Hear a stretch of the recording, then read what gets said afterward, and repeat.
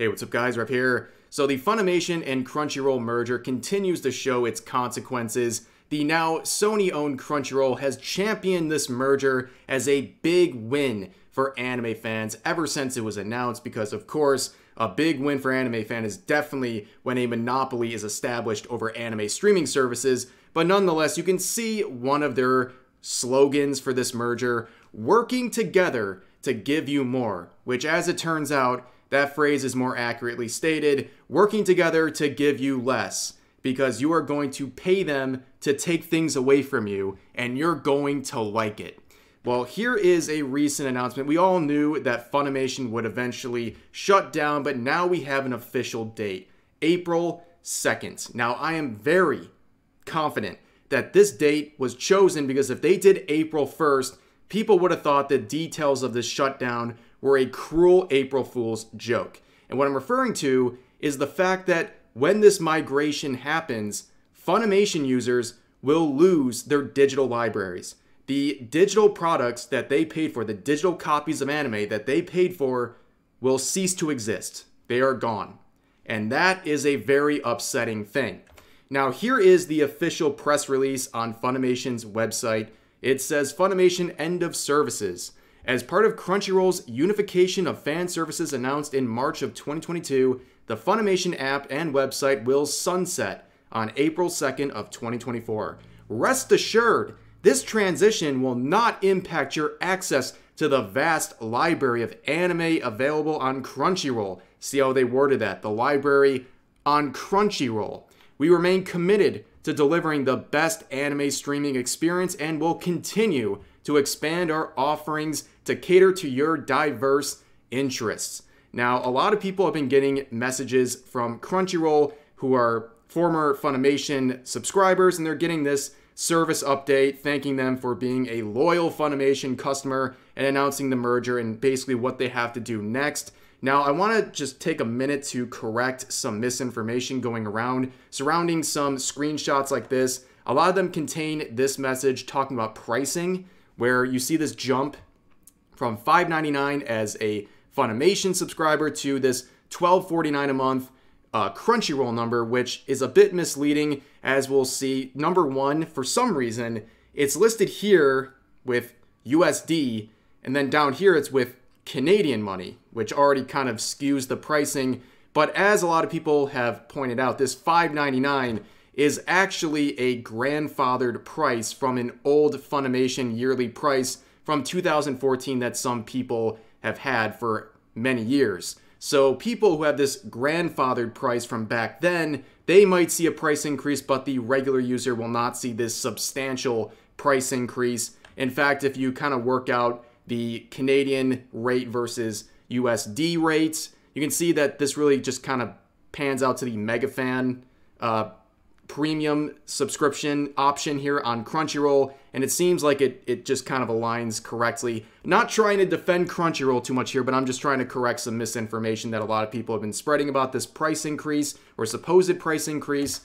So this is the section that I and most people are the most angry about when it comes to this Funimation shutdown. So buried deep within their press release, we have this question asking, what is going to happen to my digital copies? where they provide this response that states, We understand that you may have concerns about your digital copies from Funimation. Please note that Crunchyroll does not currently support Funimation digital copies, which means that access to previously available digital copies will not be supported. However, we are continuously working to, to enhance our content offerings and provide you and blah, blah, blah, blah, blah. They're basically trying to soften the blow by saying, oh, you have this new library of content on Crunchyroll but here's the main takeaway if you purchase digital copies of anime through Funimation, those will no longer be supported on Crunchyroll. Basically, you wasted your money on these copies, they are gone.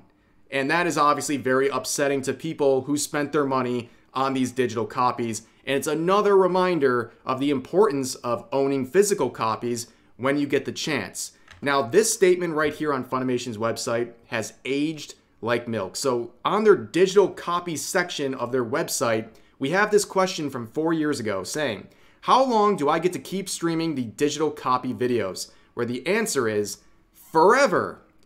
But there are some restrictions. and they attach their terms of use. Now, if you go to the terms of use, you see this section on availability of service and content where in the small print it says, subject to the applicable provisions of any additional terms, Funimation in its sole discretion without advance notice or liability may immediately suspend or terminate the activity of the service and slash or content and any elements and features of them in whole or in part for any reason in Funimation's sole discretion and without advance notice or liability.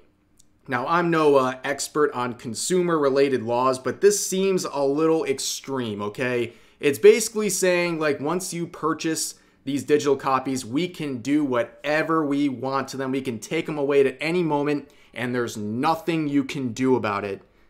That seems a little extreme. I don't really know. Uh, someone out there probably knows better about this type of stuff than me, but that seems really extreme and unfair to Funimation users. But moving forward, within that press release, they try their best to again soften the blow by saying everything that Crunchyroll has to offer with these reasons listed here but everyone knew about these sorts of basic features on Crunchyroll. People are angry about the digital copies being removed. I mean, that is a huge blow. That is something that a lot of people just will not be okay with. They are really upset about this. And you can go through a lot of the responses, but this one's very interesting. So here's a tweet saying, Never forget that Crunchyroll was once an illegal streaming site to watch anime just like any other, but they made enough money and now are just as evil as the stuff they were against in the beginning. Which, yes, in case you don't know the hidden lore of Crunchyroll, they were once a piracy website. They offered pirated anime, and they just got popular enough that they got legitimacy. And now look at them. Now look at them and look at what they're pushing because a lot of people, once again, you know, you can have multiple responses to what is happening with Funimation and Crunchyroll. You can say, oh, gee whiz, I paid a lot of money for those digital copies that are now going away. Uh, well, I guess I'll just keep supporting Crunchyroll. I'll just I'll just take it and uh, keep going, I guess, and keep paying these corporations who have no respect for me or my money. Or a lot of people have turned to another option, and that is the classic, and that's piracy. Now, of course, uh, ladies and gentlemen, uh, I would never advocate for the use of piracy. That is a crime if you commit piracy, you'll never see the pearly gates. It's it's morally wrong. I mean, how would you I would never support that in any sort of way. But of course, you know, there's a lot to say about piracy when it comes to anime. At this point, it has become a very popular option, only growing in popularity over time, where it's reported by a lot of studies that anime piracies in the sites that host it are more popular than Crunchyroll and Hulu, for example and remain oftentimes in the top 10 of the most used streaming services in the world. That's how popular it is to pirate anime. Now, of course, I, say uh, piracy very bad, but let's list off some of the, uh, the, the cost benefit. Let's do a cost benefit analysis of pirating anime. Here's the uh, here's the the cost, right? Your your morals, your morals are going to be affected by doing such an evil deed. But here's some of the benefits and the reasons why people will look at what Funimation and Crunchyroll are doing and say, eh, I'm going to go another route. Uh, number one, you own what you're pirating. Okay, you own it. You download that content digitally, it is yours. No one can take that away from you. The website you got it from can shut down. It doesn't matter. It's still yours. And also, another very important feature of these piracy sites is that they consolidate anime. You know, there's no reason to have 15 subscriptions. No requirement to have that many subscriptions just to keep track of an anime as it tosses around from streaming platform to streaming platform as the seasons go on. The famous example is Pokemon. Everyone talks about Pokemon in this regard, where I think you need something like 15 subscription services to actually watch all of the Pokemon anime, as opposed to a piracy site that'll just have it all aggregated in one spot, and that's it. Now, another reason that people classically choose piracy is availability. A lot of anime just is not available for purchase, and the only way you'll get it is through these piracy sites. And it kind of reminds me of the AI talk with AI translations. For a lot of people, there's certain anime they want to watch or consume, or even manga, whatever, where there's just not a translated version out there. It just doesn't exist. So it's either don't consume it at all or have the the AI translated version of it and at least get to consume it in some form even if the translations aren't perfect. It's the same deal with pirating anime. Either you don't get it at all because there's no legal way of doing it, or you can have the pirated version. At least there's something with that version. And another thing, if you've been around long enough with Crunchyroll and Funimation, I'm sure you've seen the dreaded due to licensing limitations, this content is unavailable in your region. That is a message a lot of people have gotten due to issues with licensing. You don't deal with that with pirating. But, anyways, that is the spiel on that. And going forward, I think the public response to this whole situation has been clear cut. People are pissed off about this. People are angry at Funimation and Crunchyroll, mainly Crunchyroll for adding this in, really showing the ultimate level of greed, or at the very least showing that they have no respect for the money and interests of the people that are migrating from Funimation over to Crunchyroll who don't have a choice in that matter. It's either migrate or just lose everything. So it's a it's a very tough position. Who would have thought having a monopoly on the anime streaming services would have consequences like this? But while we're talking about some uh, issues with that company, here's a company that I really like and I think you should support, and that is Uwu Market. We've worked a lot with this merch company before, and in their kindness, they have extended my signed poster campaign. I released this poster about two weeks ago to celebrate two years since my VTuber debut. And yes, you can check it out here. Beautiful artwork from them as always. And if you order it in the next week, we are extending it by one more week.